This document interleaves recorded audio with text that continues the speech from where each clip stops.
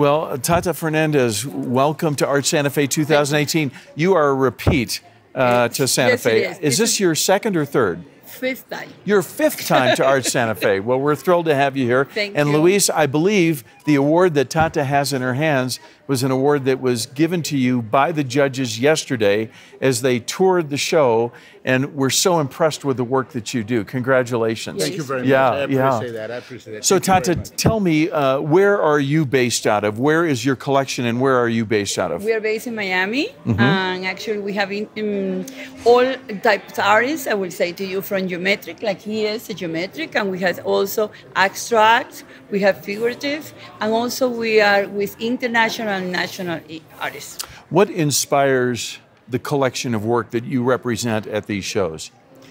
Depends where we are. Here at this moment is uh, is Santa Fe. You have to bring here unique work, and also, mm, believe me or not, people bring to this show many times things that actually are good to Santa Fe or peculiar to Santa Fe. But in reality, as you realize, it's a lot of tourists in Santa Fe, and they really want to take it back to their own home, which is actually up north, or sometimes it's even international mm-hmm. homes. Yeah.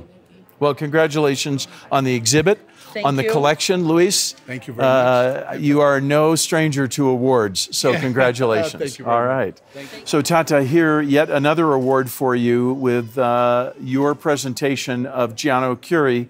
And uh, the judges were very impressed with this particular work. Can you help give us a little understanding of this particular artist and the inspiration of the work? Okay, this is a very young artist, very, very young. This is actually the first time that he is represented by Contemporary Art Projects USA.